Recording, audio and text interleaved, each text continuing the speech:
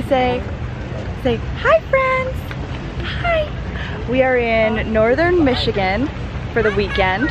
We're visiting family. I spent many a summers growing up here with my cousins. And so Zoey and I are visiting one last time before our move to Germany. She is enjoying all of the beaches and all of the little kids running around. Can you say hi? She's not a big fan of the boat noise, but she's loving, you know, she's jealous of our ice cream and she's just having a really good time. So we're, we're gonna miss Northern Michigan a lot.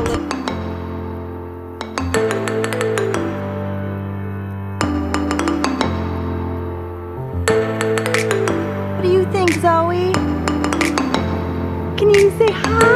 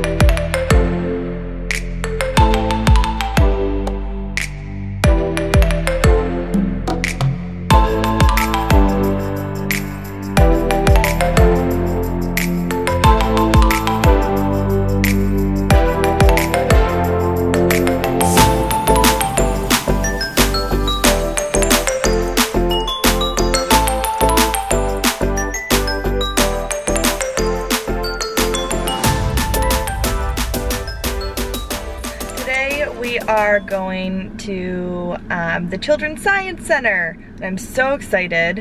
Um, Zoey's a bit too young to really appreciate it, but hopefully we'll find some stuff for her to crawl around on. They have a bubble center, so we'll blow some bubbles for her. I think she'll definitely enjoy that. Um, I'm feeling a bit nostalgic today. Um, as we get ready to leave for Germany, I'm having a bit of an emotional day, thinking about leaving and how everything's gonna be so different. And I know, we'll, you know, we just come to visit Michigan now, living in Washington, so it's not like we hang out in Michigan all the time. Um, but I'm still feeling nostalgic about the things we're gonna miss, and I know we're gonna come back to visit. But we're having a we're having a bit of an emotional day, to be honest. Just thinking about all the things we're gonna miss and leave behind and how our routine is gonna be totally different. Obviously, I'm still very excited um, to move, uh, or, or otherwise we wouldn't be doing it. But I'm still gonna miss things and be sad. So I decided to get us out of the house today and um, go to the science center and have some fun. Let's see what we find.